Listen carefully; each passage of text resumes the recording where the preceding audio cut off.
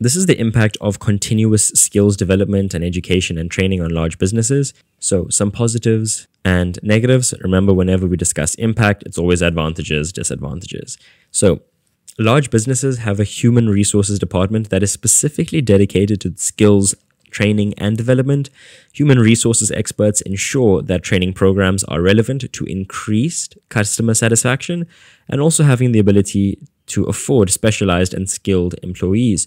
So, large businesses having bigger budgets, they can attract more skilled workers, they have a few more fringe benefits, and it's just a more, well, overall attractive company to work for. Large businesses could conduct could conduct skills audits to establish the competency and education levels of their staff, you know, just to see who are skilled employees, where skills are lacking, and take the necessary steps and precautions to ensure that everyone is up to speed. Remember, a skilled work staff will be more productive, more effective, and thus increasing profitability.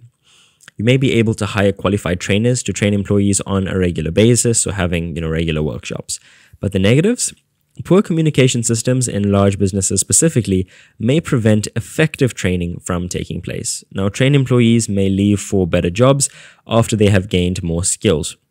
So, a lot of companies, you know, after providing a lot of training, they would add some kind of restraint of trade stipulation in the employment contract. This could also demotivate employees if they don't receive recognition for the training, and employees who specialize in more narrowly defined jobs, they may become quite frustrated and demotivated at the entire situation.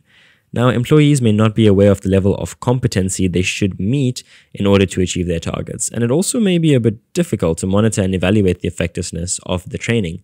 Um, it may not be so easy to see, it may not reflect on the profitability of the company, and yeah, that could be a major, major drawback on this impact of continuous skills development because where do we see the progress? How do we see it? How do we measure it? And if we can't measure it, how could we possibly evaluate it?